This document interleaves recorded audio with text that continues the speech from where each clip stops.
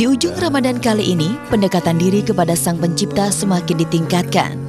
Selain berbuat amal dan sedekah di berbagai tempat, para umat muslim juga tampak meramaikan masjid sebagai pilihan berserah diri kepada Sang Maha Kuasa. Salah satu artis tampan, Mandala Soji, melakukan itikaf di sebuah masjid di kawasan Cibubur, Jakarta Timur. Gemercik air terdengar nyaring saat Mandala Soji mengambil air wudhu. Siraman butiran air tampak deras menyucikan badan artis asal Surabaya ini.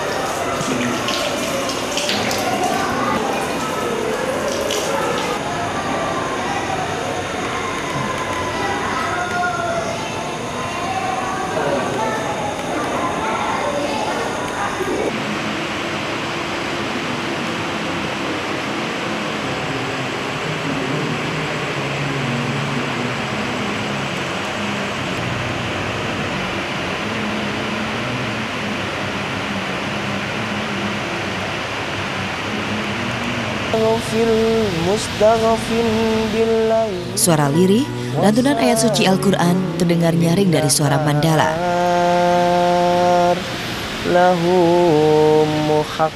Dengan kusyuk, suami Marida Nova Safriana mengharap ketenangan batinnya di malam ganjil Lailatul Qadar yang telah dijanjikan Sang Maha Kuasa.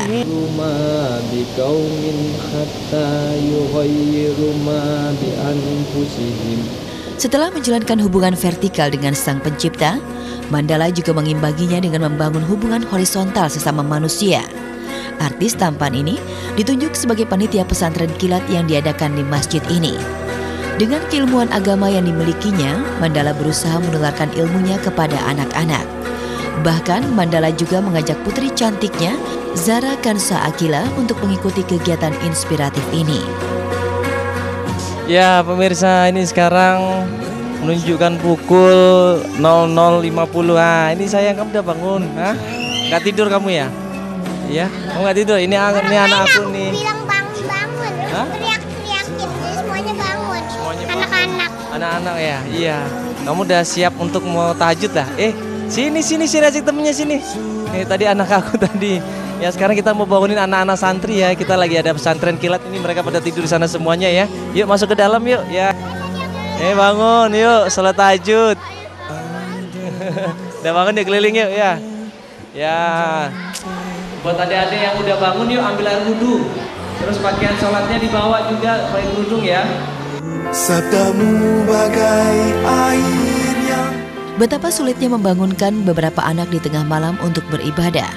Dalam mensiasati tantangan ini, Mandala mempunyai cara jitu untuk menarik perhatian anak agar segera bangun. Yuk, baris lagi yuk.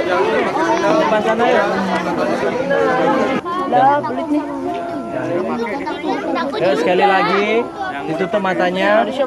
Siapa yang nggak berani, adik boleh masuk ke dalam lagi ya.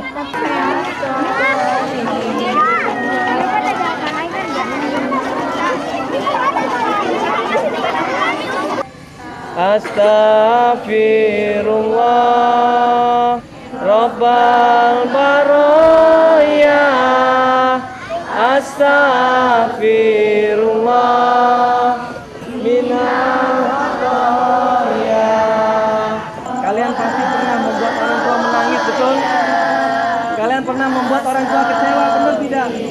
Kita hanya bisa meminta sama Allah Dan ingat muka kedua orang tua kita yang selalu mendoakan kita Mereka tersenyum Ya. Mereka berdoa Meminta sama Allah supaya dilindungi adik-adik ini. Terharu. Sedih banget. Lebih berbakti lagi kepada orang tua itu aja. Mama mau ada yang ngucapin nggak ke mama ke papa? Mama sayang. Iya. Bapak ya udah sedih udah sedih udah ya udah. berusaha untuk mengajarkan mereka kemandirian, kerjasama tim, dan introspeksi diri.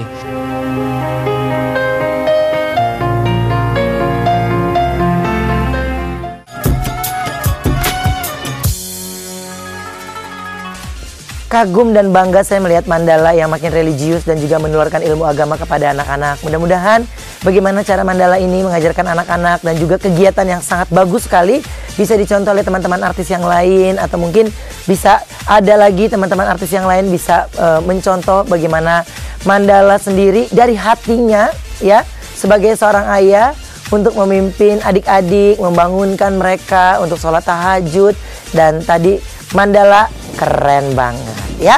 Dan selanjutnya ada update kabar terbaru dari Maya Estianti yang kabarnya siap memboyong anak-anak mudik ke Surabaya.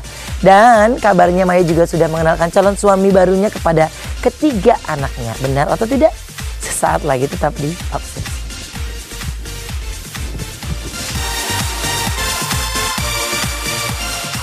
Misalnya Al minta masakan udang gitu yang zaman dia masih kecil dia inget banget dan tiba-tiba sahur minta dimasakin lagi jadi kemarin dua hari.